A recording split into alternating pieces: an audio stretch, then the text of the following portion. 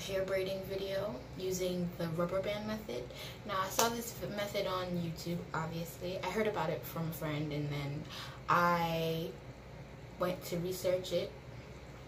Saw it and I said, I said, oh, this looks easy enough for me to try and I'm gonna be doing it for the first time. So I decided why not make a video of it.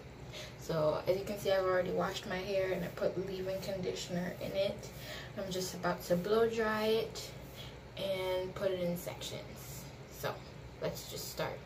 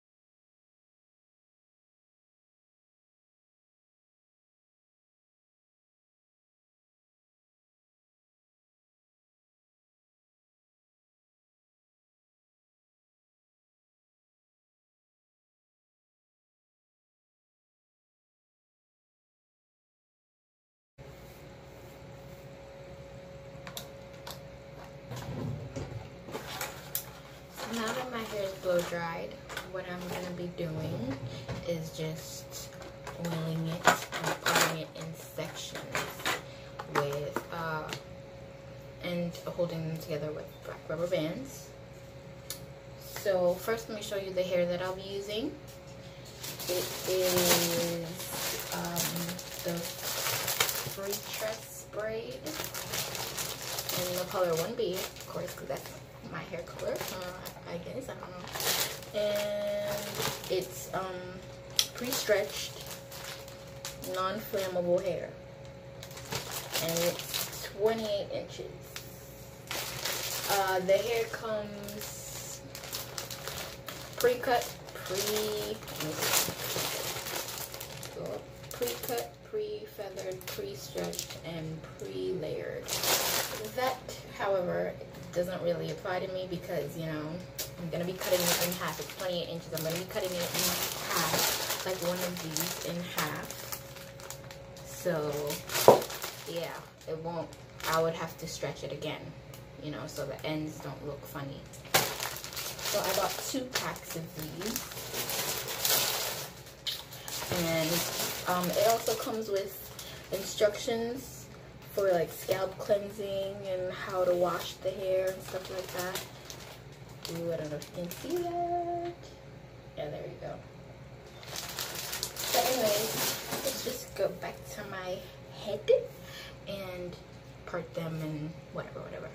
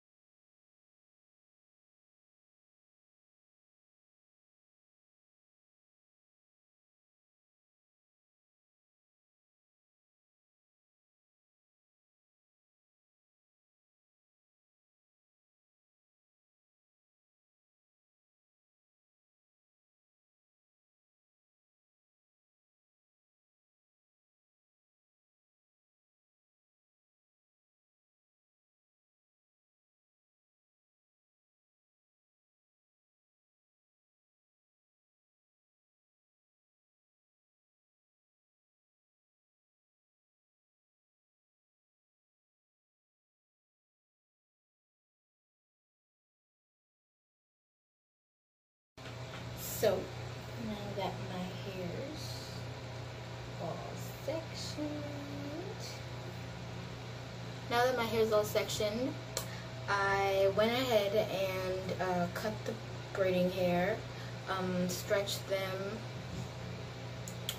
and this is, I think this is how big I'm going to do them. So, I'm just going to start that. I went ahead and did the back off camera just because I felt like it would be easier um, instead of me having to fight and turn around to show you guys what I'm doing. So I'm like, I guess, a little bit less than halfway there. uh, and this is what they look like so far. They haven't been trimmed or anything, but this is way easier than me trying to actually braid my hair the regular way because that would just not work. So this is what they look like and I'm doing them like this length long. Uh, so I just grab the hair and I think this is a little bit too small. Let me grab a little bit more.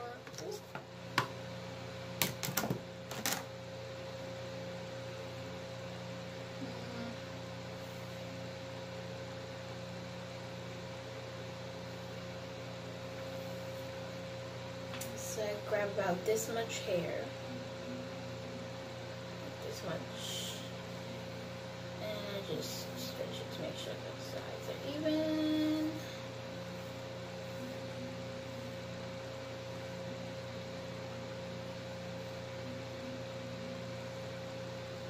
And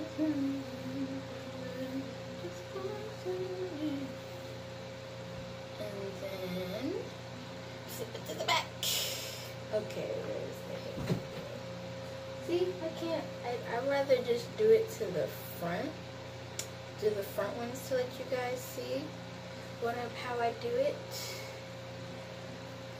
But I'm gonna just do a few of the back ones on camera. Talk to you guys. so you guys can see my head, my face, my mouth moving.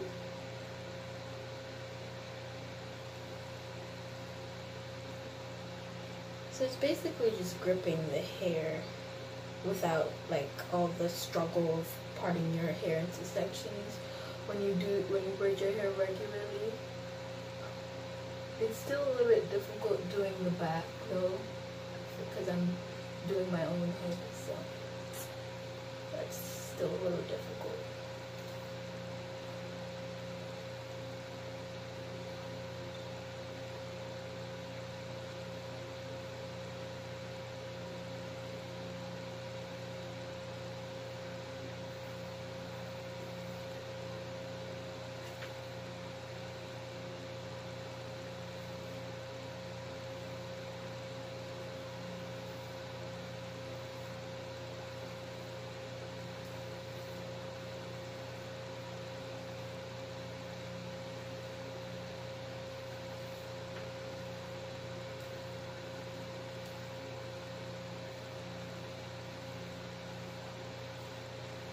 This one's a little smaller than the rest. That happens sometimes. Whenever I'm braiding hair, like when I'm braiding my own hair, well, it's not like I've ever braided anyone else's hair, but when I'm braiding my hair, I realize that sometimes I don't grab the same amount.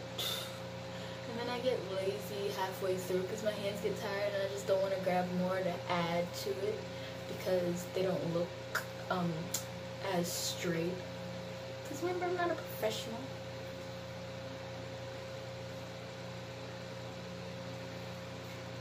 Okay.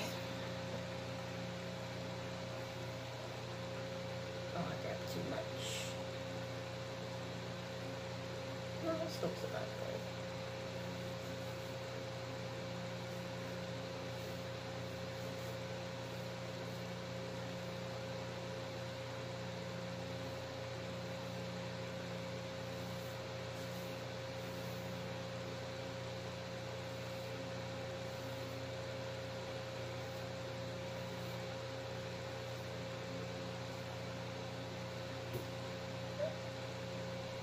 Mm.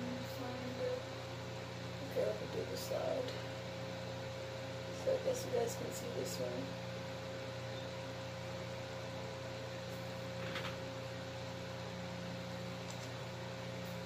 Okay. I'm gonna move my hair out the way.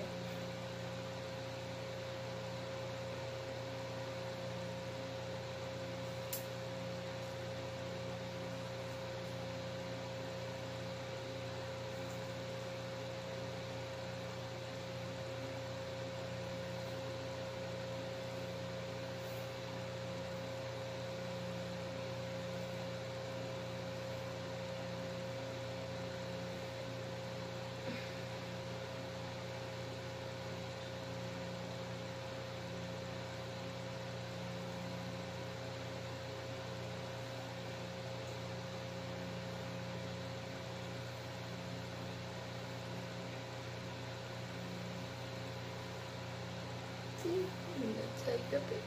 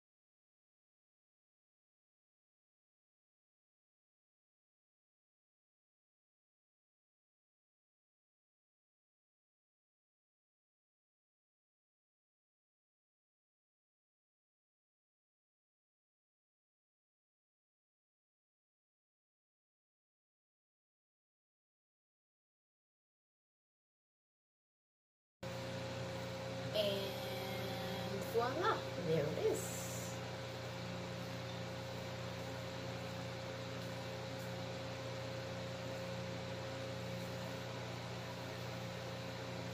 Wait. That's it back. I'm gonna do another one on camera, and then I'm gonna just skip to the end, I think, or another two. I'm gonna do this one on camera. The front one's on camera, I guess. I'll just do most of the front ones on camera, and then get back to the middle. And that's the good thing about the rubber band method. You can go wherever you feel like because the hair is already all sectioned off. So you know where you're going when you don't go like how you're supposed to go. But if you know what I mean.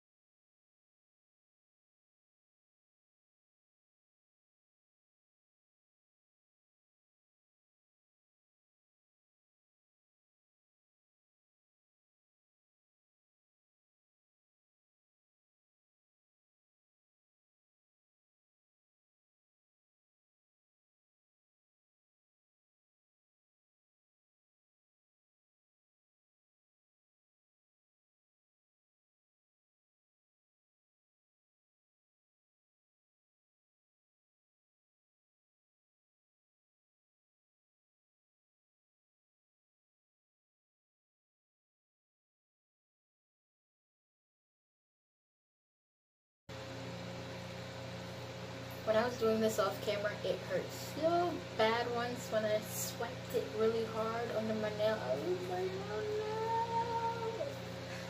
Okay, so that's that one again. There's one that I want to redo. This one right here. Because it's like twisted. But I'm going to do that later. Or tomorrow.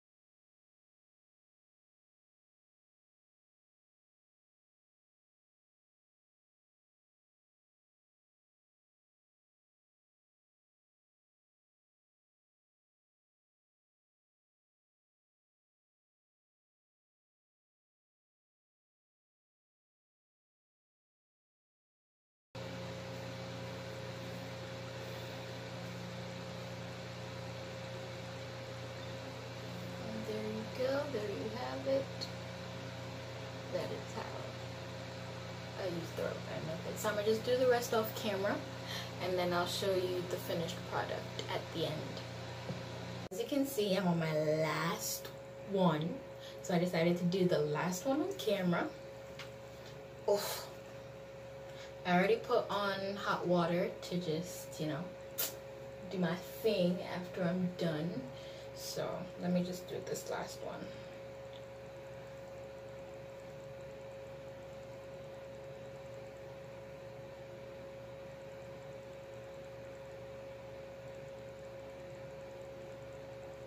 Woot. Oh, it was caught. Okay, there we go.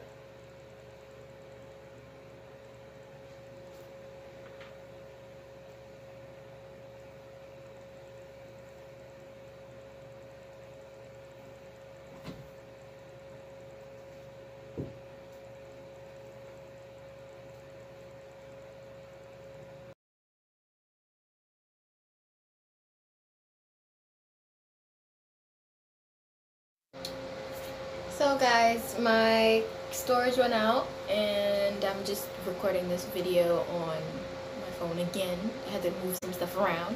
But anyways, this is the finished product. Hot watered it, trimmed, and this is how it looks. I, I like this method. This method is very easy for a beginner like myself when it comes to braiding hair. Um, I would definitely do this again until I get better because they're not great, but they're presentable. I can go outside.